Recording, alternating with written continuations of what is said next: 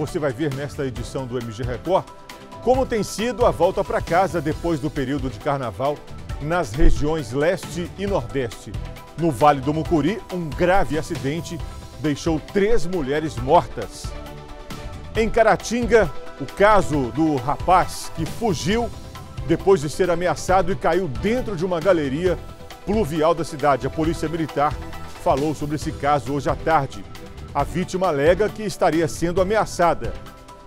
Na cidade de Itabirinha, a Polícia Militar encontra drogas dentro de ursinho de pelúcia. E terá início para os católicos o período da quaresma. Essas e outras notícias você acompanha a partir de agora no MG Record pela TV aberta e no facebook.com TV Leste. MG Record